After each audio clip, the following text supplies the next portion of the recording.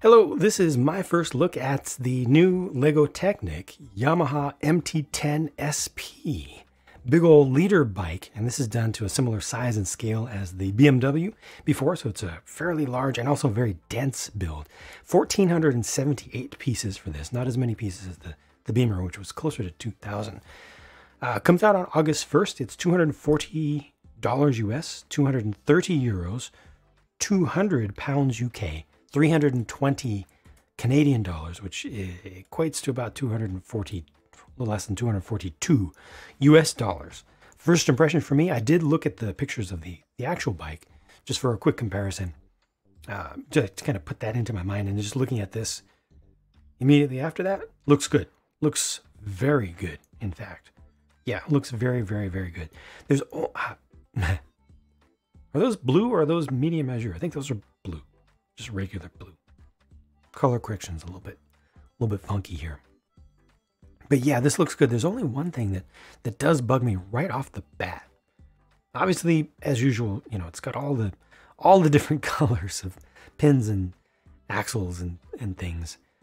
But it's that one right there. So you've got these these nice, what is that, a two by three slope panel or wedge panel piece, two of them in trans uh, dark brown. Those are nice. But then they put a red axle through it. Like I'm I'm I'm gonna leave all these alone. All these colored, weird colored pieces that we don't ideally don't want to see in a big high-end collector model. Even though I know what they're there for, they do objectively help with the building process, and especially since they're going for they're trying to bring more people into the Lego hobby. Uh, and that's really that's really important to them. They have to put a little bit of emphasis on making them making the sets easier to build, less frustrating to build, and also reducing customer support calls from folks who accidentally grab the wrong piece and don't realize it because they're not um, not advanced modelers and everything. So I, I get why they do that, but this one, this one right here, I'm not going to allow it to pass because that absolutely should have been black. Period. The end. It just should have been a black axle. They make those axles. They never stopped making those axles. In spite of what you may have heard from many, many people over many years, they never stopped making the black too long axle. But that one should be it. Okay, aside from that, sorry. Uh, I don't know if these are the same shocks, uh, struts as before or thicker. These might be thicker. I'll have to go back and look at the Beamer again. I thought that they were, I thought that they, the first ones were thinner than that, but they look really good in real life, this bike uses a, uh, high-end electromagneto variable dampening system. I think they did want to show those extra strong. Got the brake lines that look nice in here. The wheels look great again. Using the the uh, gold color for the chain. Hopefully those chains are still holding up.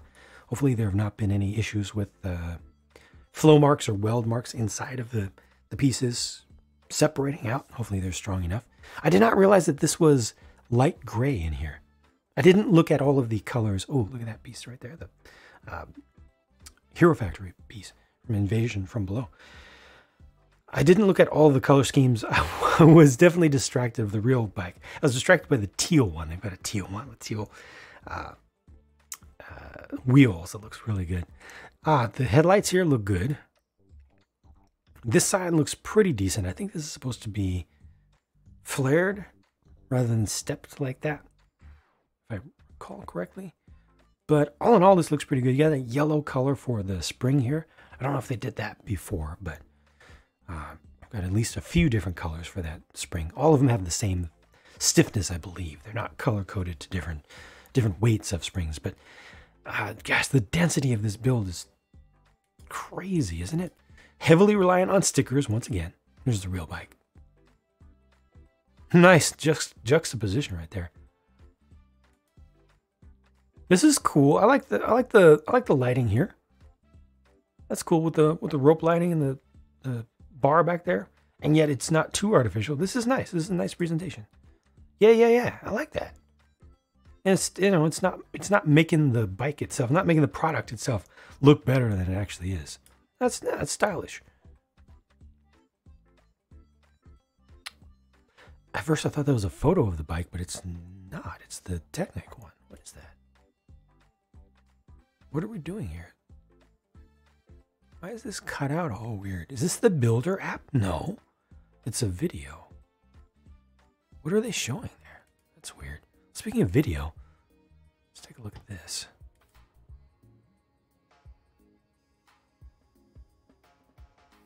Oh. Oh. Oh, look at that. It's a nice little little presentation rather than just a regular. I thought it was just a 360. Does it have a working transmission in a bike? Okay, that's cool.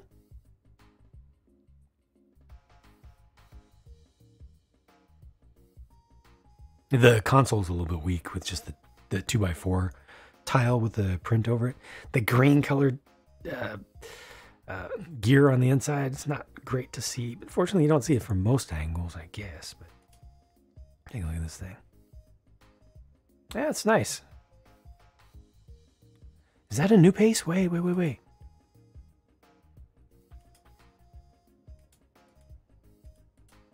It's very similar to a part that we had a long time ago, but it looks it looks new to me. Oh wow, look at that! They use the tr the traditional strut piece as a return. Oh no, it's it's uh it's part of the the ratcheting mechanism. Oh, the suspension looks good. The suspension looks really good. Yeah, yeah, yeah. I like that. Oh, this looks good. Sorry, I, I'm a freak for suspension. It doesn't look like she's putting too much pressure on it. That's good. That's because the bike itself is heavy. So usually they, they overspring these things. Technic AR. Uh, oh, okay. Okay, I gotcha. That's cool. Yeah, little AR thing. Again, I like the lighting here and the, the presentation of it. Uh, it's, yeah, that's that's a nice shot.